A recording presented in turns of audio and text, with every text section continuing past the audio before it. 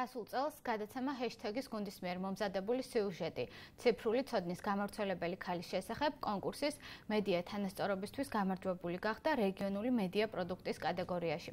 წელს ორგანიზაცია ქალების საერთო მომავლისთვის საქართველოს ოფისმა კვლავ გამოაცხადა კონკურსი მედია თანასწორობისთვის 2022 უფრო მრავალფეროვანი კატეგორიებითა და საპრიზო ადგილებით. ჩვენ ახლა პირდაპირ ეთერში ქალების საერთო მომავლისთვის საქართველოს ოფისის კომუნიკაციების მენეჯერი შემოგვიერთდება და უფრო მეც გვეტყვის თემაზე. ვერო მოგესალმებით.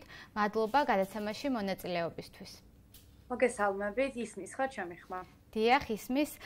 ვერო, გენდერული თანასწორობის იდეის მნიშვნელობა ამოსავალი წერტილი, ასე ვთქვათ, მთავარი იდეა კონკურსში, კონკურსის შესაბამისად დასაწყისში აუცილებლად უნდა გკითხოთ ირანში მიმდინარე მოვლენების შესახებ სოლიდარობის აქცია დღეს დაინიშნა თბილისშიც.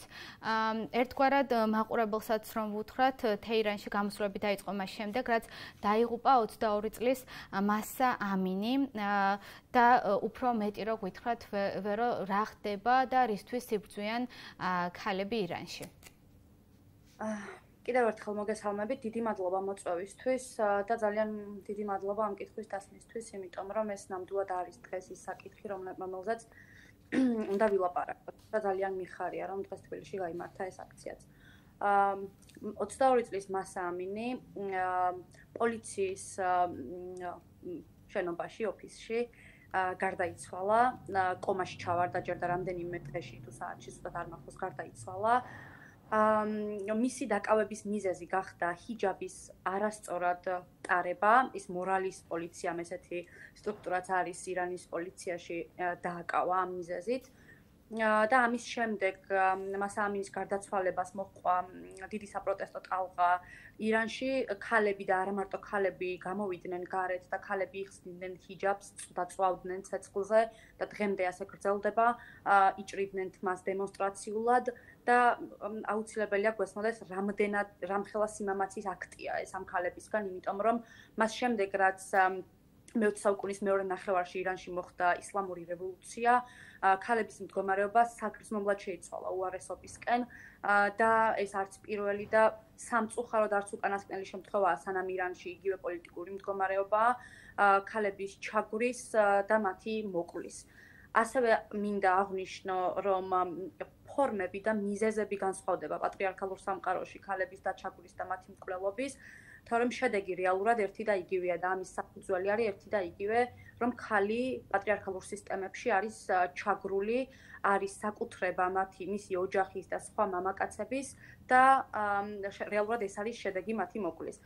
რელიგიური თუ სხვა კულტურული ატრიბუტები უბრალოდ დამატებითი ფორმები და ფონებია ამ ყველაფრის და ჩვენ არ უნდა დაგვავიწყდეს, რომ ხალებს ასევე კლავენ საქართველოსშიც სხვა მიზეზებით, სხვა ფონზე, თუმცა ქალებს კლავენ და ეს არის შედეგი და ამ ყველაფრის ამ ყველაფერს აქვს ერთი დიდი საერთო მიზეზი და ამ საერთო მიზეზს ქვია პატრიარქატი და ქალის მდგომარეობა პატრიარქალურ სისტემაში. აა ვერო მადლობა ნამდვილად მნიშვნელოვანია თუნდაც საქართველოსში ამ მოცემული მიმდინარე წლის ფემიციდის სტატისტიკა ძალიან საყურადღებოა და ირანშიც ასევე საპროტესტო გამოსვლების პარალელურად იქნება ეს სოლიდარობის აქცია. საქართველოსში თუ სოციალურ ქსელში დაგეგმილი კამპანია გაერთიანება და სოლიდარობის გამოხატვა ნამდვილად ძალიან მნიშვნელოვანია რომ გადავინაცვლოთ უკვე და ვისაუბროთ უფრო ვრცლად კონკურსის შესახებ საქართველოს ოფისი ქალებს საერთო მომავლისთვის წელს უკვე მეორე დატარებს კონკურს და როგორც ვიცით, როგორც კატეგორიები, ასევე საპრიზო ადგილები არის შეცვლილი და უფრო მეტად გამრავალფეროვნებული, შესაბამისად, ამის შესახებ რომ გითხრათ, უფრო მეტი და ასევე იმ მიზნის შესახებ, რა მიზანსაც ემსახურება აღნიშნული კონკურსი. კი ბატონო, პირველ რიგში ძალიან მიხარია რომ გამარჯვებულს თან მაქვს ახლა ინტერვიუ გასული წლის, ძალიან სასიამოვნო ფაქტია ეს. აა მიზანი უცვლელია კონკურსის იგივე არაც იყო შარშან, ეს არის აა რომ გამოვკვეთოთ და დღის წესრიგში დავაყენოთ მედიის როლი თანასწორი და ინკლუზიური საზოგადოების მშენებლობის პროცესში და წავახალისოთ და მხარი დაუჭიროთ ისეთ მედია პროდუქტებს და მათ ავტორებს, რომლებიც სწორედ ამ მიზანს ემსახურებიან, რომ გააძლიერონ რომ ქალები ისაუბრონ ფემინისტურ საკითხებზე, ისაუბრონ ქალებზე და სხვა მოწყვა ჯგუფებზე და ეს ყველაფერი გააკეთონ ჟურნალისტური ეთიკის ფარგლებში. რაც შეეხება სიახლეებს, კი, ნამდვილად გვაქვს სიახლეები. შარშანდელი გამოცდილება იყო ძალიან საინტერესო და სწორედ შარშანდელი გამოცდილების გათვალისწინებით, ბევრი რამ შეიცვალა წლევანდელ კონკურსში. უპირველესი რაც შეიცვალა არის ის, რომ 4 საპრიზო კატეგორიის გარდა ნაცვლად გვაქვს 6 წელს. რა თქმა უნდა, დარჩა ისევ ცენტრალური საუკეთესო ცენტრალური მედია პროდუქტის და საუკეთესო რეგიონული მედია პროდუქტის კატეგორიები, ასევე დარჩა საუკეთესო ვიზუალური ნამუშევრის კატეგორია და დაგვემატა ჩვენთვის ძალიან საამაყო კატეგორიები. ეს არის სტუდენტური ნამუშევარი. ამ კატეგორიაში მონაწილეობის მიღება შეეძლება იმ არა მარტო ჟურნალისტიკის სტუდენტებს, ყველა იმ სტუდენტს, რომელიც ჟურნალისტიკასთან რელევანტურ ფაკულტეტებზე სწავლობენ და სამომავლოდ გეგმავენ ჟურნალისტობას და ამ სფეროში ყოფნას, მათ ნამუშევრებს მივიღებთ ამ კატეგორიაში. ასევე გავაცალკევეთ ერთმანეთისგან დამოუკიდებელი კონტენტის შემქმნელები და ციფრული პლატფორმები, იმიტომ რომ შაშან ძალიან გაგვიჭირდა გამარჯვებულის გამოვლენა და გადავწყვიტეთ რომ ეს ორი კატეგორია უნდა იყოს ცალკე. ციფრულ პლატფორმებზე ვიტყვი რომ ეს პლატფორმები უნდა იყვნენ დამოუკიდებლები და არ უნდა ეკუთვნოდნენ რომელიმე მედია საშუალებას. ანუ ესენი არ უნდა იყვნენ რომელიმე მედია საშუალებების Facebook გვერდი მაგალითად, უნდა იყვნენ დამოუკიდებელი მედია მედია პლატფორმები, ან უბრალოდ პლატფორმები სხვადასხვა ორგანიზაციების თუნდაც. და აი ამ სამ კატეგორია, ეს სამი კატეგორია დაემატა მოკლედ წელს. ასევე სწორედ იმ გაფრთხილებით, რომ შარშან ჩვენ და სასიხარულო ძალიან ბევრი, ძალიან კარგი და ძალიან ემპათიით და მხარდაჭერის სურვილით შექმნილი ნამუშევარი მივიღეთ. გადავწყვიტეთ, რომ ერთი გამარჯვებული არ იყოს საკმარისი თითოეულ კატეგორიაში და გადავწყვეტ რომ თითოეულ კატეგორიაში იყოს სამი საპრიზო ადგილი და სამივე საპრიზო ადგილზე გასული მონაწილეები მიიღებენ ფულად ჯილდოს და რა თქმა უნდა დაფასებას და ძალიან დიდ მადლობას ჩვენგან და ჟიურის წევრებისგან ასევე მინდა ვთქვა გამოგზავნის ვადებზეც, იმიტომ რომ ესეც ძალიან მნიშვნელოვანი ინფორმაციაა, რომ ნამუშევრების გამოგზავნა ნებისმიერ მსურველს შეუძლია 2022 წლის 31 ოქტომბრის ჩათვლით და ნამუშევრები, რომლებსაც გამოგვიგზავნიან, შექმნილი უნდა იყოს 2021 წლის 11 ნოემბრიდან 2022 წლის 31 ოქტომბრამდე.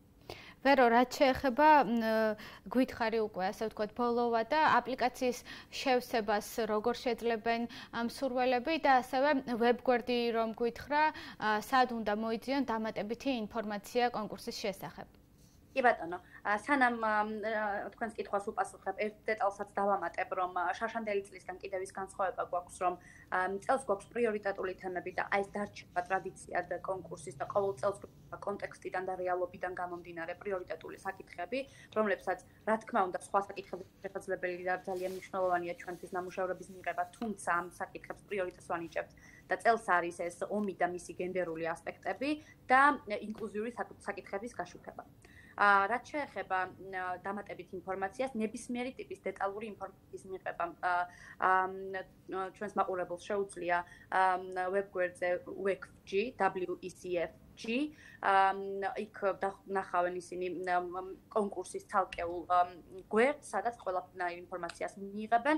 მანდვე ნახავენ აპლიკაციის ფორმას, რომ ამოტვირთავენ შეავსებენ და ფასებული აპლიკაცია და ნამუშევარი უნდა გამოგვიგზავნონ მეილზე media4equality@wec.org ვერო მადლობა ინფორმაციისთვის წარმატებებს ვუსურვებთ მსურველებს და ასევე მოხარულები ვართ რომ სწორედ გაეცემა ჰეშტეგი სიუჟეტი არის ერთ-ერთი გამარჯვებული გასული წლის კონკურსში ვერო მელუა ქალების საერთო მომავლისთვის საქართველოს ოფისის კომუნიკაციების მენეჯერი გვესაუბრებოდა კონკურსის მედია თანასწორობისთვის 2022-ის შესახებ